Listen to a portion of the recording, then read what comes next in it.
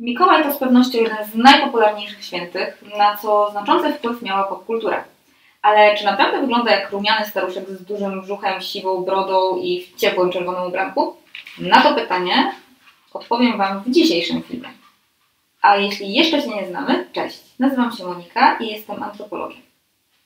Prowadzę bloga o nazwie Antropogit i podcast Antropologicznie Mówiąc, a w tym roku ukazała się moja pierwsza książka Zbrodnie odczytane z kości Tajemnica antropologii sądowej.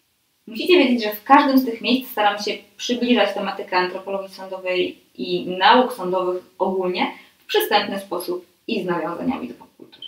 Ale nie przedłużajmy już i przejdźmy do głównego tematu dzisiejszego filmu, czyli do świętego Mikołaja. Kim święty Mikołaj był w rzeczywistości? Bo to jest pierwsze pytanie, na które musimy sobie odpowiedzieć. Według przekazów historycznych urodził się około 270 roku naszej ery jako jedyne dziecko pary, która wcześniej była niepłodna. Jego rodzina była bardzo zamożna, a on ten majątek odziedziczył bardzo wcześnie, bo jego rodzice osierocili go, gdy w Mirze panowała zaraza. Mimo, że posiadał potężny majątek, postanowił swoje życie poświęcić posłudze kapłańskiej.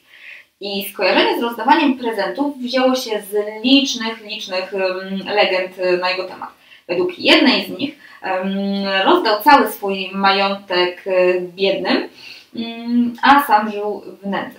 E, inna znowu e, historia głosi, że usłyszał kiedyś, że jeden, z, jeden człowiek, który popadł w długi, postanowił sprzedać swoje córki do domu publicznego i gdy on się o tym dowiedział, postanowił w anonimowy sposób pomóc mu um, i wspomóc go swoimi pieniędzmi i przez komin w nocy wrzucił um, trzy sakiewki z pieniędzmi, a te sakiewki wpadły do um, i do pończoch y, tych córek, które powiesiły je nad tym kominkiem, żeby je szybciej wysuszyć. Stąd wziął się ten zwyczaj chowania prezentów do butów czy do skarpet mm, i w krajach, w których używa się kominków, święty Mikołaj oczywiście te, wchodzi przez komin i zostawia te prezenty, natomiast w miejscach, w których kominków nie ma albo się ich nie używa, Mikołaj po cichutku wkrada się w nocy do y, domu i wsuwa grzesznym dzieciom pod poduszkę prezent. A dlaczego obchodzimy Mikołajki 6 grudnia? Bo według przekazów Mik y, święty Mikołaj zmarł właśnie 6 grudnia 343 roku. Został pochowany w rodzinnym mieście, w Mirze, natomiast y, kiedy Mirę przejęli Turcy, za sprawą y, włoskich marynarzy pozwolono przewieźć jego zwłoki do Włoch, do miasta Bari. I tam spoczywają one do dzisiaj, a samo przewiezienie zwłok miało miejsce w 1089 roku. No ale skupmy się na tym, czy wizerunek świętego Mikołaja, czyli tego właśnie uroczego starszego pana w czerwonym płaszczu, w czerwonej czapce, z siwą brodą, skąd on się wziął? On został spopularyzowany w 1930 roku przez, uwaga, koncern Coca-Cola dzięki reklamie tego napoju. I no, ten wizerunek bardzo, bardzo szybko podchwyciła kultura, mm, no bo to zdecydowanie bardziej pasowało y, i było bardziej przystępne niż biskup y, w mirze, czyli tej takiej biskupiej y, dużej czapce i z pastorałem w ręku, bo tak właśnie wcześniej przedstawiano świętego Mikołaja, czyli tą osobę, która te prezenty rozdawała. E, no ale dlaczego ja o tym wszystkim opowiadam? Bo pochodzenie świętego Mikołaja i ta historia to bardzo ważna informacja, dzięki, dzięki której, a w zasadzie która znalazła swoje odzwierciedlenie w wynikach analizy antropologicznej jego szczątków i też rekonstrukcji jego przyżyciowego wyglądu twarzy na podstawie czaszki. Ale jak do tej rekonstrukcji w ogóle doszło? Zacznijmy od tego.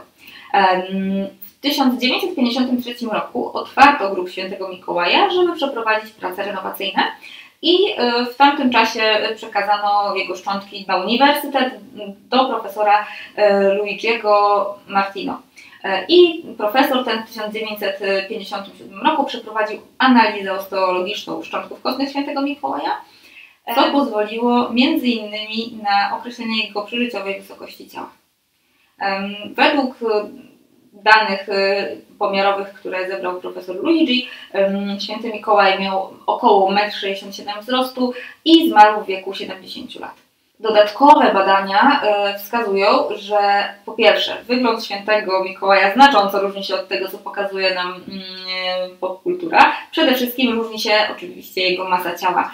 E, wyniki dokładniejszych analiz, m.in. analiz izotopów pierwiastków, e, które były w kościach świętego Mikołaja, wskazują, że święty Mikołaj był szczupłej w kierunku do przeciętnej budowy ciała, no i raczej też nie mógł się wkradać do mieszkań przez kominy mm, i y, dachy, bo po prostu e, nie byłby w stanie. Chorował na zapalenie stawów miednicy i kręgosłupa, mm, co jest bardzo bolesne, zwłaszcza w, tak, y, w wykonywaniu jakichś ćwiczeń fizycznych i takich ruchów, na przykład wchodzenia po drabinie. Okazało się też, że nie jadł mięsa, często pościł, a co najmniej dwukrotnie miał złamany nos. No i co z tą rekonstrukcją? Pierwsza powstała w 2004 roku, nie w latach 60. czy 50., tak jak wiele osób mogłoby przypuszczać, ale ta rekonstrukcja nie ujrzała światła dziennego, bo wymagała ona dopracowania. I tym dopracowaniem zajęła się dr Caroline Wilkinson, która w 2014 roku odtworzyła twarz świętego Mikołaja, wykorzystując do y, rekonstrukcji grubości tkanek miękkich twarzy pochodzących od mężczyzn z Turcji. Mężczyzn oczywiście w wieku około 65, 60, 70 lat. No i dlaczego to jest takie ważne? To jest bardzo ważna informacja dla nas, bo grubość tkanek miękkich twarzy różni się w zależności od płci, czyli różni się między mężczyznami a kobietami. E, różni się też w zależności od wieku i od pochodzenia etnicznego. Dlatego takie ważne jest, żeby stosować odpowiednie dane zarówno do rekonstrukcji przyżyciowego wyglądu twarzy na podstawie czaszki, ale, jak, ale także na przykład do um, porównywania w tabelach y, chociażby wysokości ciała. No ale wróćmy do wyglądu świętego Mikołaja. Jak on mógł wyglądać? No zdecydowanie inaczej niż y, Mikołaj znany z popkultury, bo y, przede wszystkim był szczuplejszy. Miał ciemniejszą karnację i ciemniejsze oczy niż współczesny Mikołaj.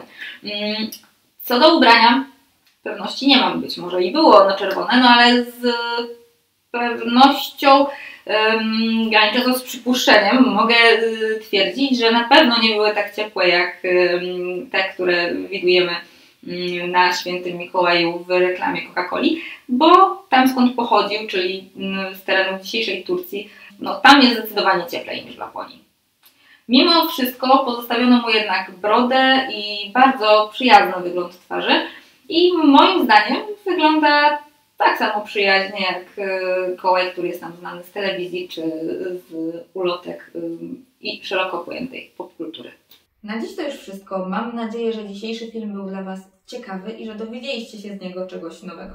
Koniecznie dajcie mi znać, co Wy znaleźliście pod, pod łóżką albo w skarpecie czy w butach um, od świętego Mikołaja. A jeśli macie jakieś pytania związane czy to z rekonstrukcją przyżyciowego wyglądu twarzy w ogóle, czy z rekonstrukcją um, przyżyciowego wyglądu twarzy świętego Mikołaja, albo może ogólnie z analizą antropologiczną jego szczątków, koniecznie zadawajcie je w komentarzach pod filmem albo w wiadomościach prywatnych. Um, a jeśli zainteresował Was ten temat, koniecznie wpadnijcie na mojego bloga i Instagram. Linki zostawiłam Wam w opisie na dole. No i oczywiście, jeśli nie chcecie przegapić nowych filmów, koniecznie zasubskrybujcie kanał i wciśnijcie dzwoneczek, bo wtedy zawsze dostaniecie informacje o nowym filmie, które będą się tutaj teraz pojawiać coraz częściej. Do zobaczenia!